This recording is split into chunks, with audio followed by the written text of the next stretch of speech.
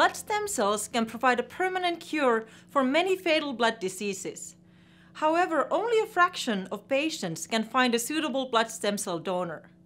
I believe that every patient should given the uh, access to this curative therapy. Recent advances in stem cell research have made it possible to use the patient's own tissues to generate pluripotent stem cells. These are the almighty stem cells that can, in theory, generate any cell type in the body if given the appropriate cues. However, nobody has succeeded in generating true blood stem cells that are both functional and safe.